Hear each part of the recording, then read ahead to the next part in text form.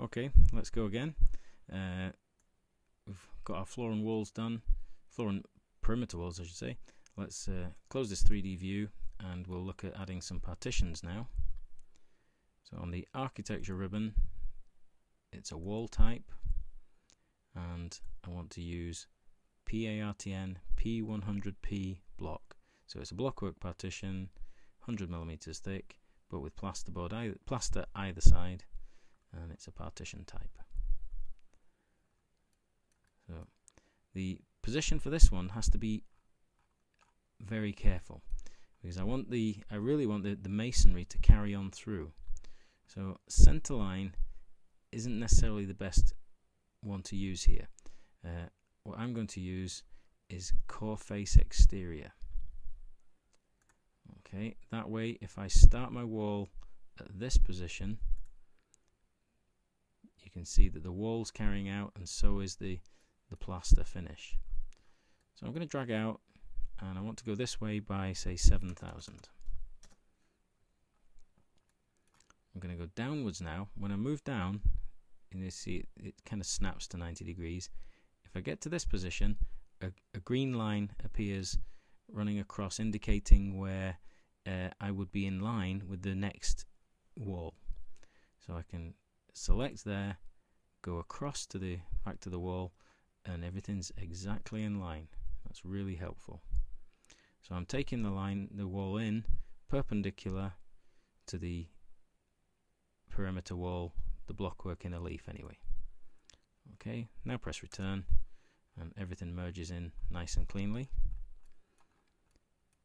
Okay, let's drag a, a wall across now.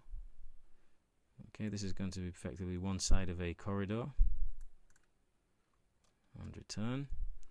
And if I want to copy that wall, I could use the, get the modify button, hold control, and drag the wall. Okay, I just did a random drag there, but uh, let's say I want to maintain a 1400 millimeter corridor, which is your kind of standard size. Okay, what I can do is edit this dimension. So if I make it, uh, if I edit it first to 1400, okay, and then if I click on this button underneath, it'll make the dimension permanent. Then click on the line. A small padlock appears and that will lock the width of the corridor. Now we're in 1 to 10 still at 1 to 10 scale here so the dimensions are going tiny. They make really small so let's go back to 1 to 100 and things will be a bit more legible so that dimension's a bit far away from where it's needed so I'm just going to drag it up and in to the corridor just to keep it tidy Okay, and what would happen now is if I tried to move the edge of the corridor, both sides of the corridor go together. Okay. Right, I'm going to move the corridor until this says 4500. So I can actually just change that to 4500. Okay, just to make sure it's there. And then I'd like to subdivide this space so drawing partitions. So I'll just drag a couple across.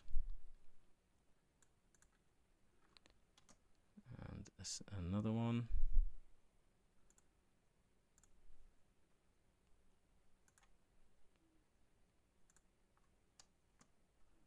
Okay, automatically tidies up the junctions for me.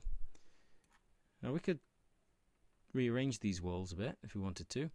And in Revit, if you add your own dimensions to things, it can be used. They can be used to control the positions. So if I annotate and add some aligned dimensions,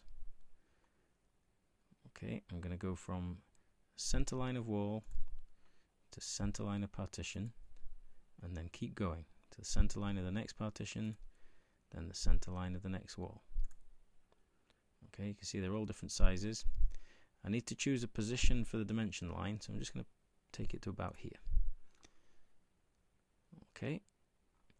Now, if I zoom in close on the top of the dimension line here, uh, the, where the tick is, you see there's a couple of dots.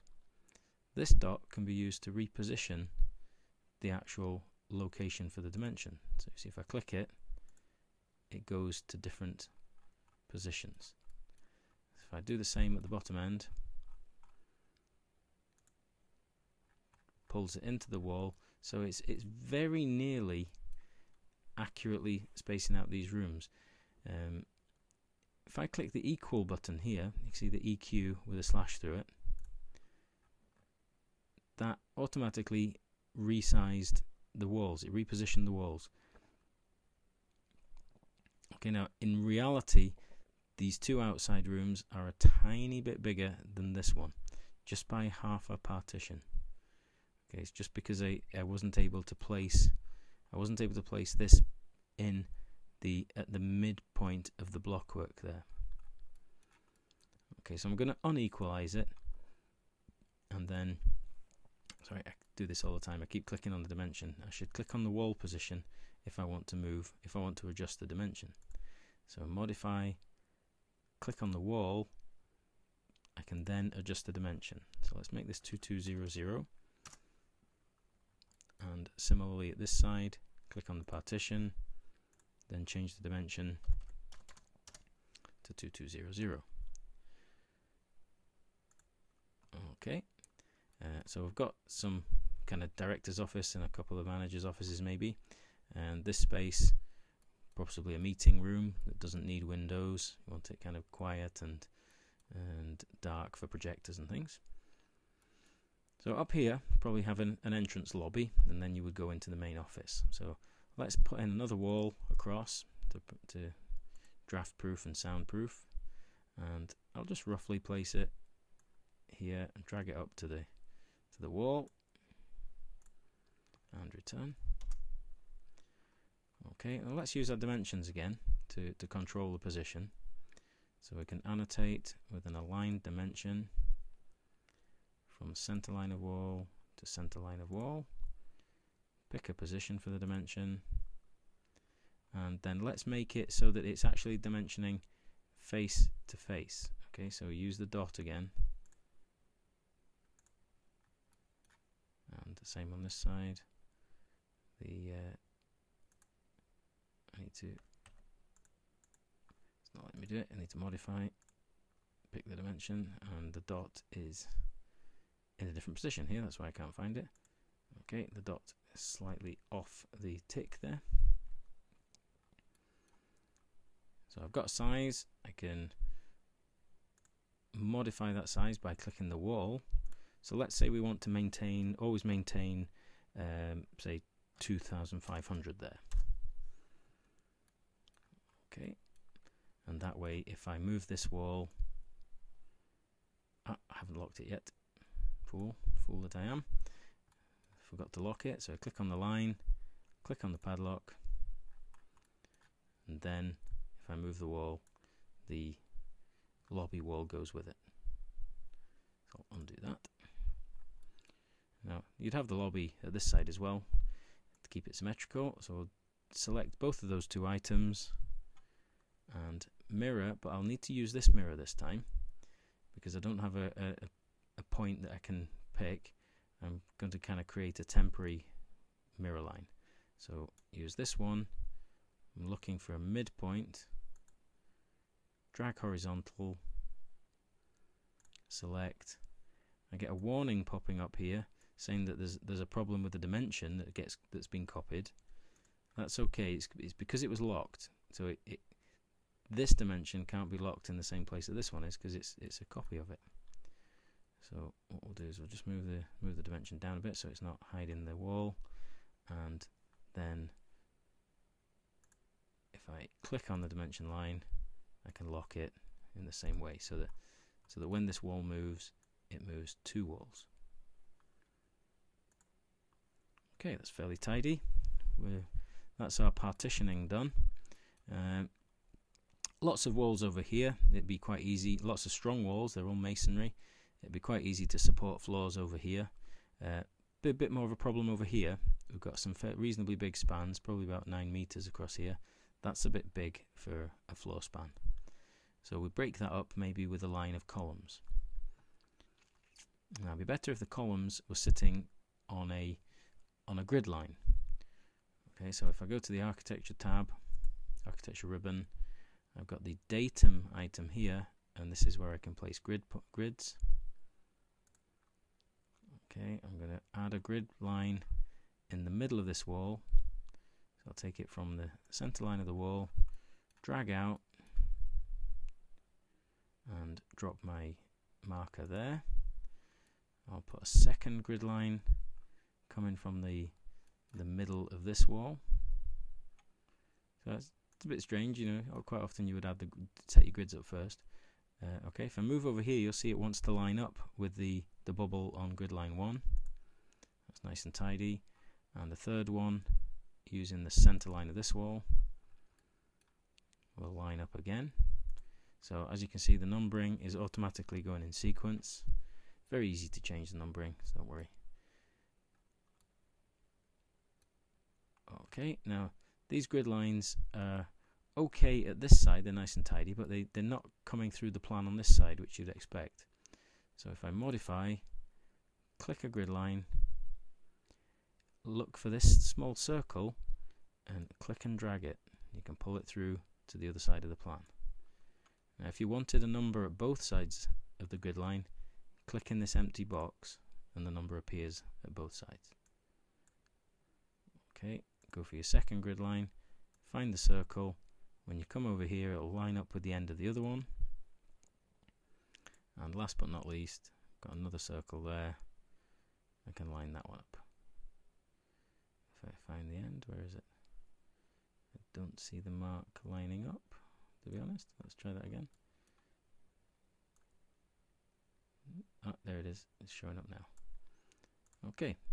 What I'm going to do is just pick up this little marker and move it back a wee bit just because it's kind of sitting on my drawing.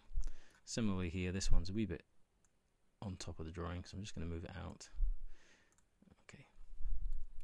These will these will get populated once the drawing once the drawing has been given a sheet number. These things start filling up, so don't worry about them being empty at this stage. Okay, so we've got horizontal grid lines. We really need a vertical grid line as well.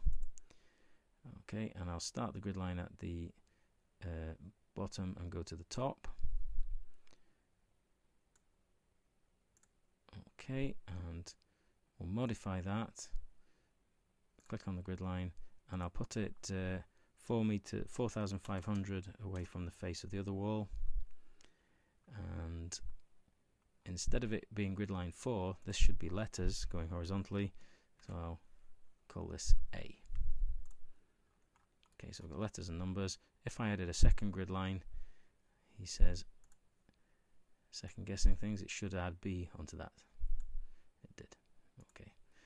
So I'll undo that, just letting you see that it would automatically add B as the next letter. Right, columns next. Let's see what we've got. So architecture, and then we want to add a column and we've got structural columns or architectural columns. Let's go for architectural just now. So this is kind of the overall outer casing shape and we're not worrying too much about the what's inside that. So 450 by 600 is being offered. See what else there is in the within within that family. They're all pretty big. 450, 450, 600, 600. So I think I need a smaller one. So I'm going to edit the type of column. So you click on edit type and we'll duplicate this one and make it a, a new one. So you duplicate, we'll change its name to 200 by 200 and it doesn't need the number 2 on the end because it's only there's only one of this series. Okay, so that's only the name that's changed. This is where he actually changed the size. So 200 by 200. Okay, click OK. That then gets joined in to the family. Okay, so you can see it here now, ready to use. I can go over the plan, look for my grid points, and add my architectural column casing.